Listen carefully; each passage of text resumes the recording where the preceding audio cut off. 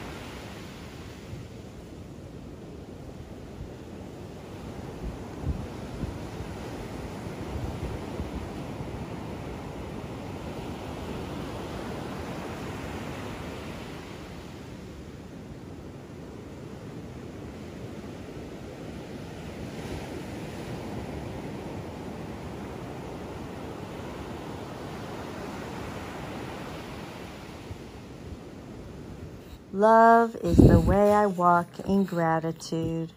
The Holy Spirit is my only guide. He walks with me in love, and I give thanks to Him for showing me the way to go. Gratitude is an, an important theme, and Jesus returns to it here. It is difficult to be grateful for learning we are wrong and do not know anything. Yet that is the reason we wish to learn if we are to return home. Thus, our gratitude is to Him who teaches us and whose love gently guides us. Love is the way I walk in gratitude. I am not a body, I am free, for I am still as God created me. Thank you so much for joining with me today. I love you. Have a beautiful day. I will see you tomorrow.